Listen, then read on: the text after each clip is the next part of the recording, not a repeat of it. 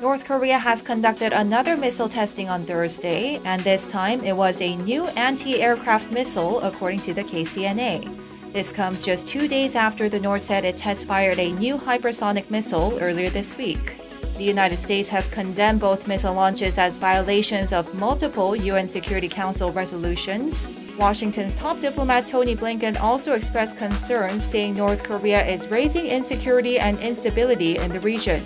U.S. Aerospace Commander General Glen VanHerck said the U.S. is still assessing the type of missile North Korea fired this week, but he said the U.S. homeland would still be safe even if it turns out to be a hypersonic missile as claimed by the North.